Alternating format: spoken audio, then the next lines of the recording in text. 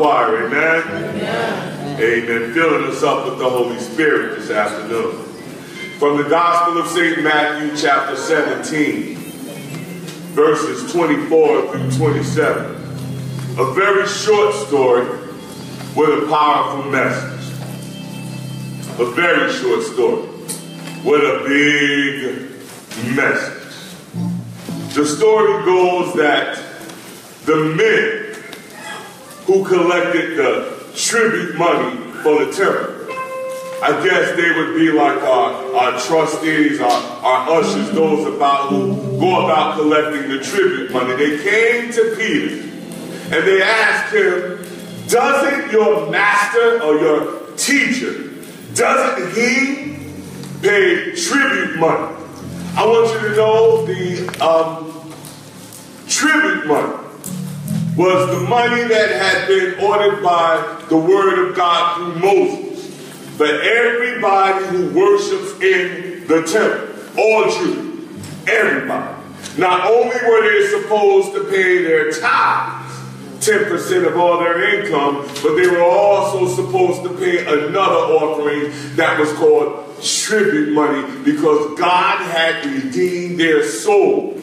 They were supposed to pay an extra amount for the atonement of their souls. Now, I want you to know this tribute money was changed.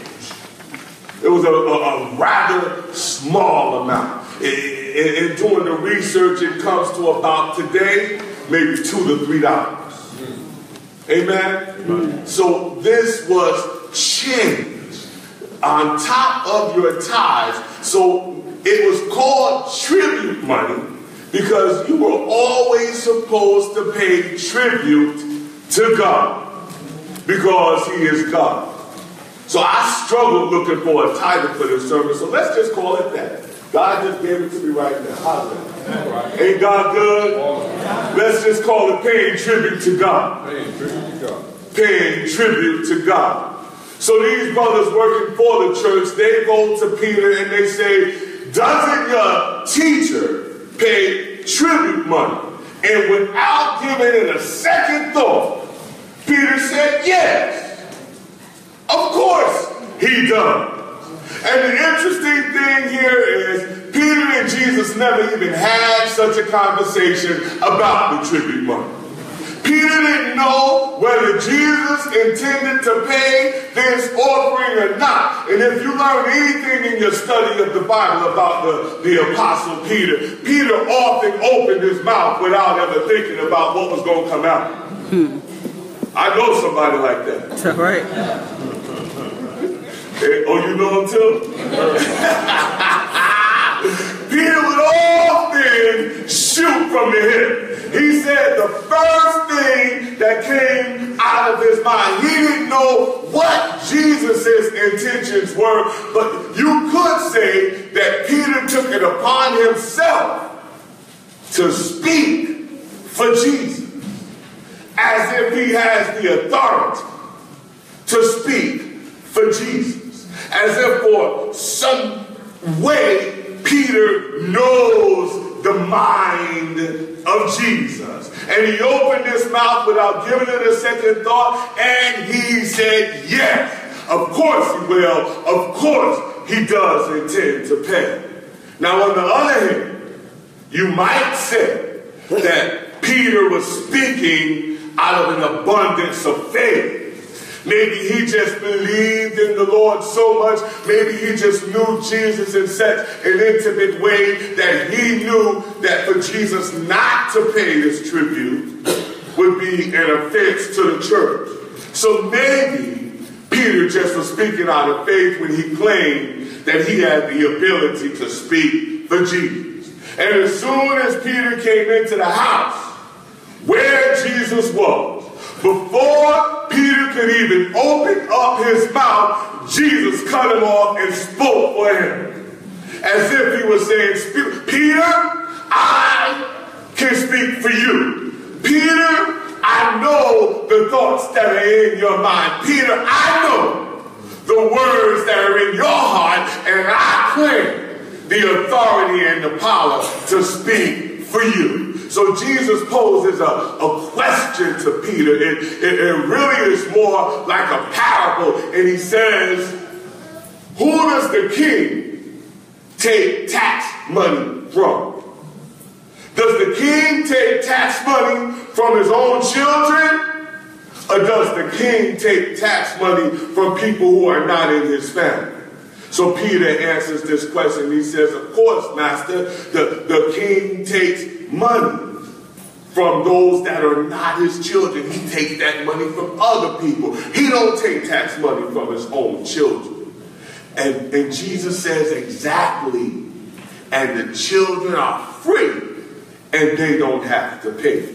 Jesus was trying to tell Peter right then and there, I am the Son of God. I don't have to pay this tax. But just so there will be no offending the brothers who came to collect. Just so there'll be no offense to those who take care of the business of the church. This is what you do, Peter. He says, you go down to the sea, cast your line into the sea, and go fishing. He says, the very first fish that you take out, when you open up his mouth, you will find a piece of money. Hmm. He says, take it and pay my taxes and take it and go and pay your own.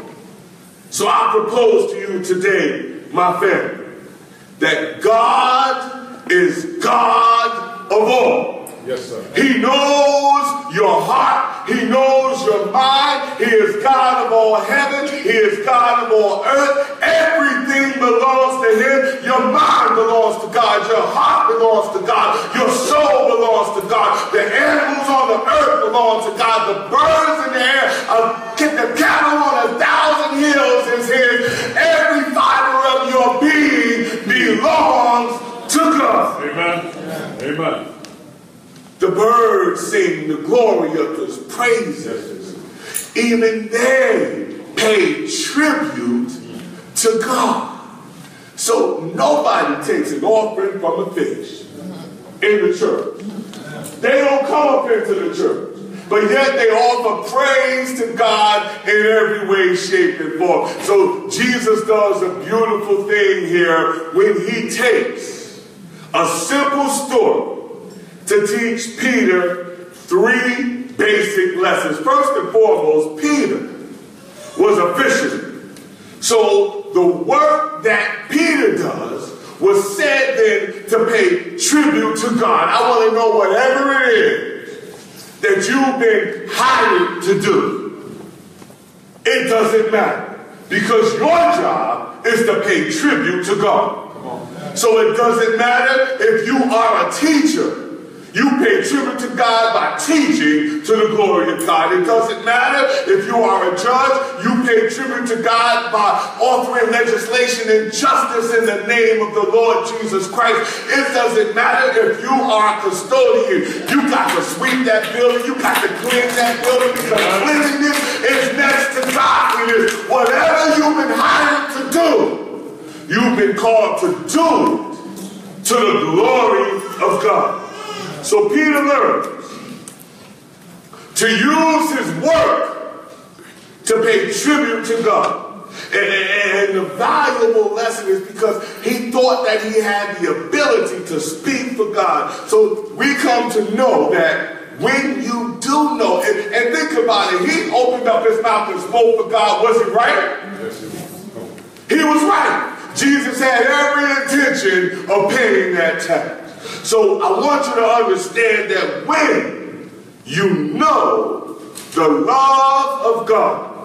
You know that God is a provider. Amen. He says, don't give no thought for what you shall wear, what you shall put on, what you shall eat, because your heavenly Father knows you have need of these things. But seek ye first the kingdom of God and all his righteousness, and all these things shall be added unto you. So when you do your work, seeking to be righteous, when you do your work, seeking to glorify the kingdom of God, when you seek to do your work, seeking to shed the light on the fact that Jesus Christ is Lord of all and God of all.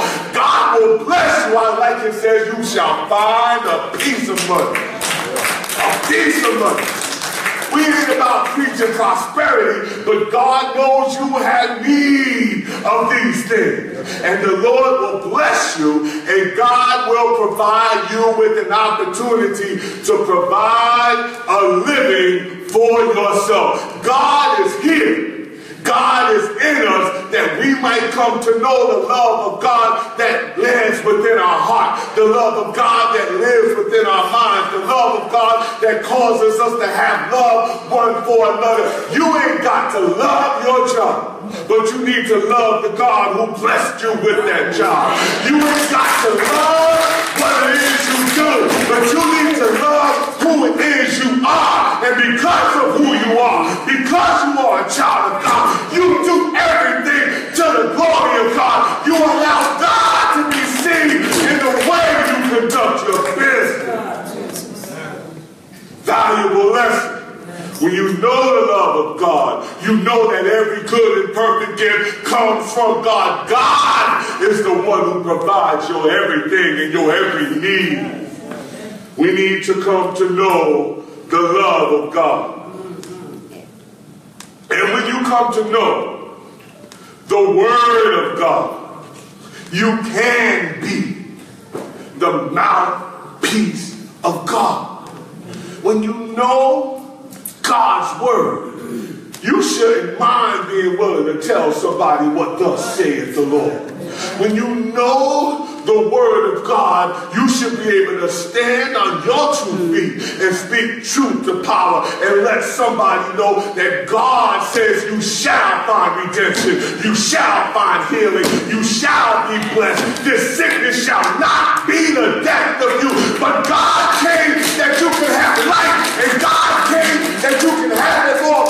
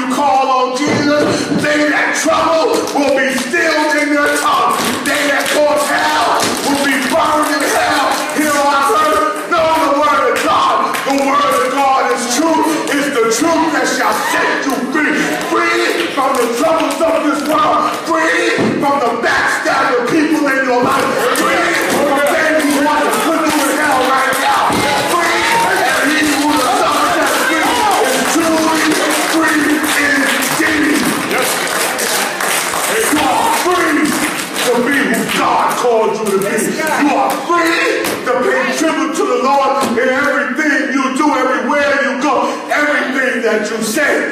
When you know the love of God, you expect somebody to hate. Amen. They hated Jesus. They're gonna hate the Holy Spirit that's in you. Yes. Yes, sir. They hated Jesus. They're going to hate everybody who comes in his name. So when they hate you, you want to be giving God all the praise. When they hate you, you want to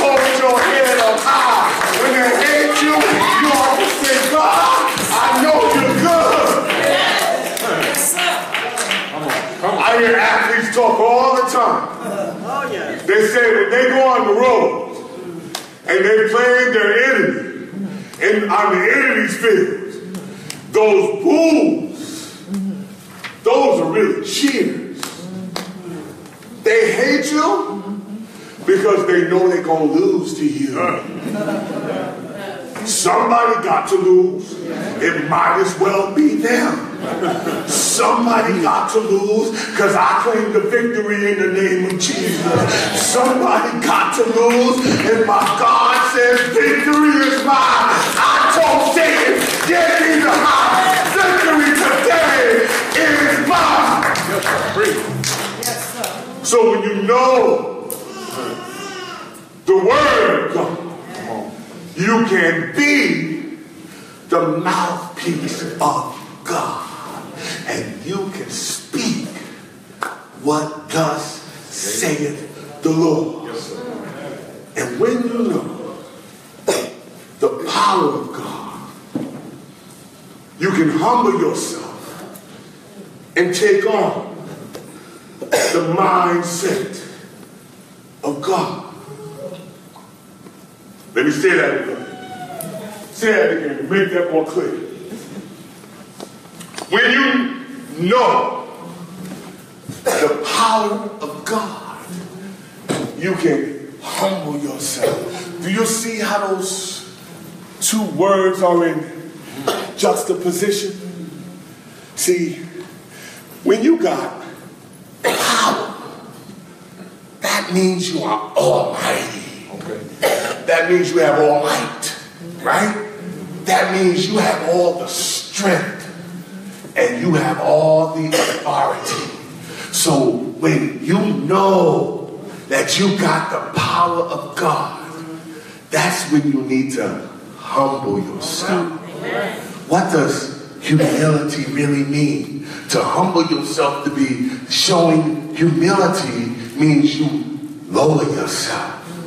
So you take that power, that authority, that strength, and you drop it down a notch or two because you have that power through God. But you know all power is God's power, so you will humble yourself. You don't need to show nobody how mighty you are.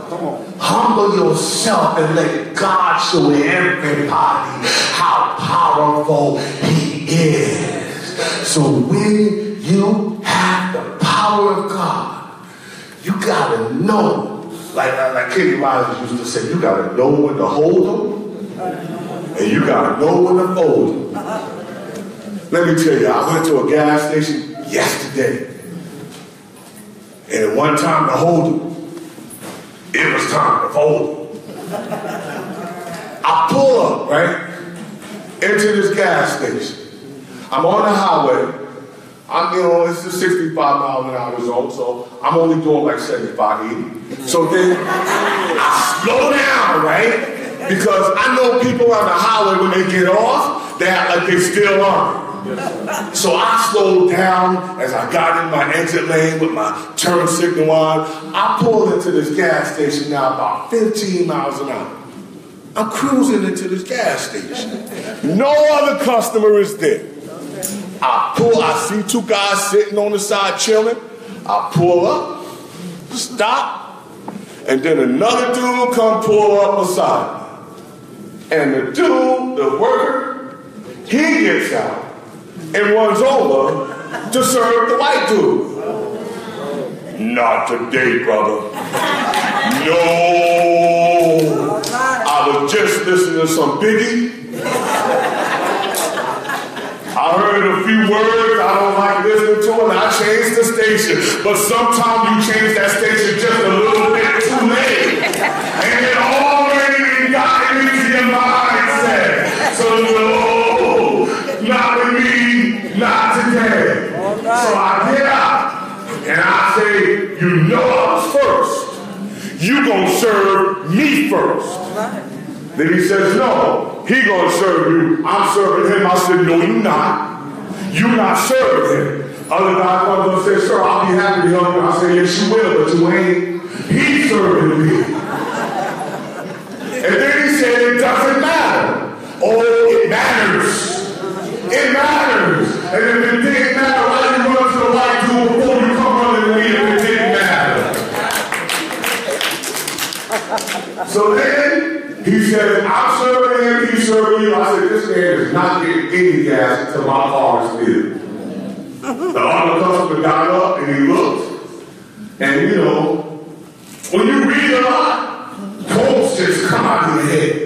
Right? This is why we want to always fill ourselves with knowledge, right? Because you have the right words to say. Amen. So I said, brother, the only thing required for evil or wrong and injustice to triumph is for good people to do nothing and say nothing. I said, you know that I was first. He said, I ain't saying nothing. That ain't the point.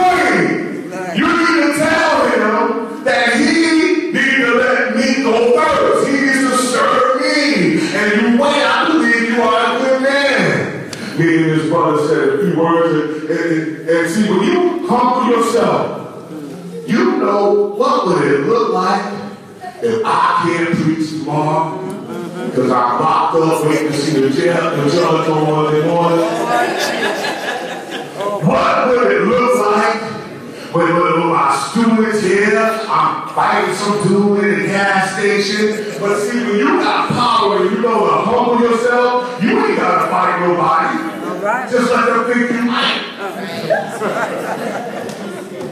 Just let them think you might.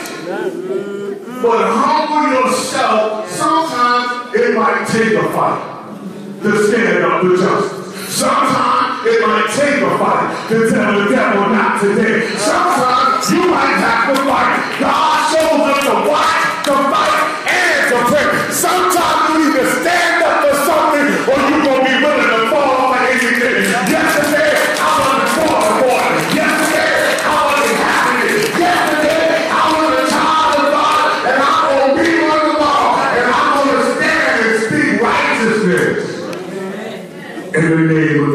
Jesus Christ. Yes. Now, Jesus says, just so we don't offend anybody, this is what you need to do. But sometimes, Jesus didn't care nothing about who was offended. He said, let them alone. Never mind what they got to say. They be blind leaders of the blind. And if the blind lead the blind, they all gonna fall into the ditch. He said, you and your whole generation are a generation of vipers. Which one of the prophets did y'all not hear? He didn't care who he offended. He walked up into the table. He said, my father's house is a house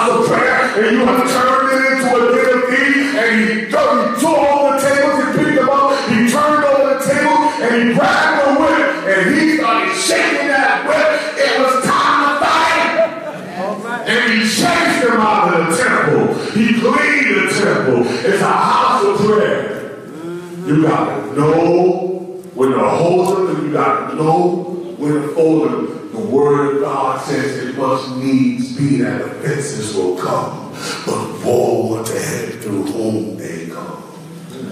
You know what? Another situation, I'm gonna let you go.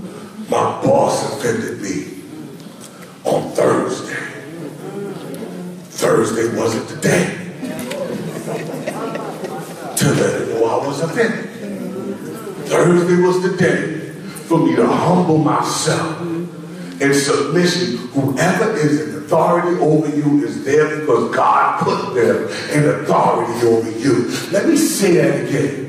Whoever is in authority over you is there because God put them in authority over you. You ain't got to like it. You ain't got to love it. You ain't got to agree with it. But you need to learn to be submissive to the will of God. He said, be subject to the rulers of this world. So you just got to be obedient to the word of God. Now, I ain't saying that means you got to be a doormat. That don't mean you gotta let somebody walk all over you. And that don't mean you don't have the choice to choose somebody else to be your boss. You got that freedom. Hmm. And then sometimes you find yourself with an opportunity to tell somebody what they did wrong. Don't be scared, no matter who they are. If you think they, because people don't know sometimes they're standing on your foot if you don't say ouch. I might think that's the table there I'm kicking. You need to speak up for yourself. Thursday just wasn't today. But we got weekly scheduled meetings on Tuesday. Oh, she gonna hear about it. But you got to know there's a time and a place for everything. There's a time to speak up. There's a time to keep quiet. There's a time to stand up. There's a time you need to sit down. There's a time you need to speak. There's a time to shut up. There's a time you need to buy, a time you need to sell, a time to love, and there's a time to hate. There's a time to live. There's a time to die. There's a time to fight. And there's a time for peace. You just got to know when it's time. So Jesus tells Peter, come, so we don't offend anybody.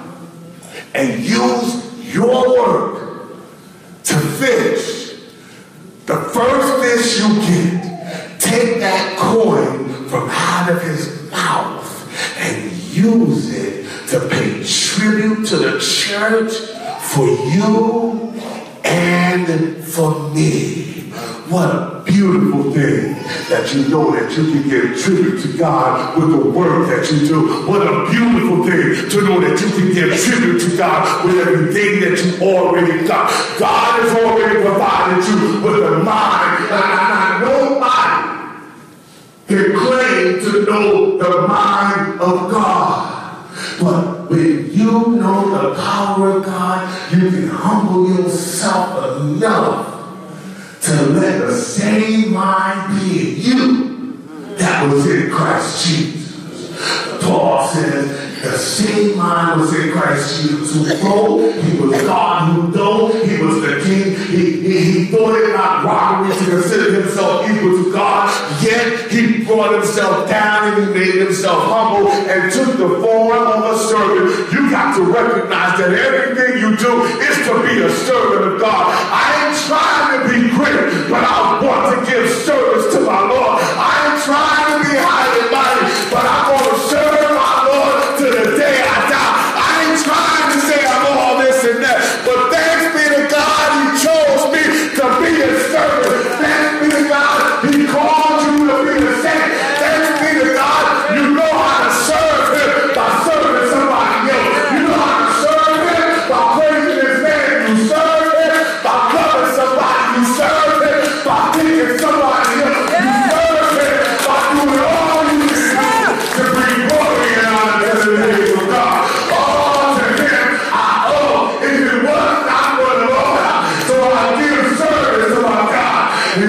Everything that I do. With every breath that we have, because we know the Word of God, we can sometimes speak what thus saith the Lord. Because we know the love of God. We know that God gives us everything that we need in this life. Because we know the power of God. We humble ourselves in the presence of God and we allow the power of God to shine forth in everything that we do. Stand on your feet. We give God the glory. Stand on your feet. We give God all the praise. Stand on your feet. We pay tribute to God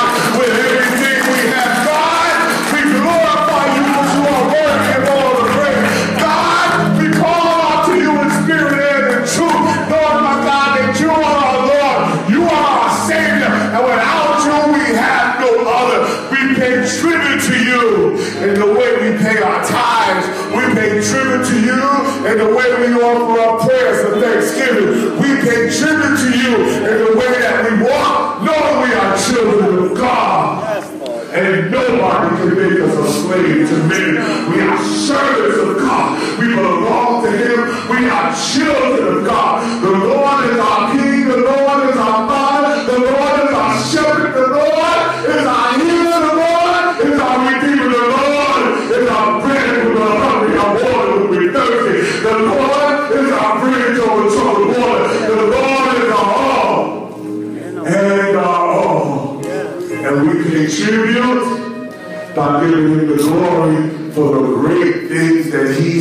Done. And truly, our Lord has done great things. The, the best way you can ever pay tribute to God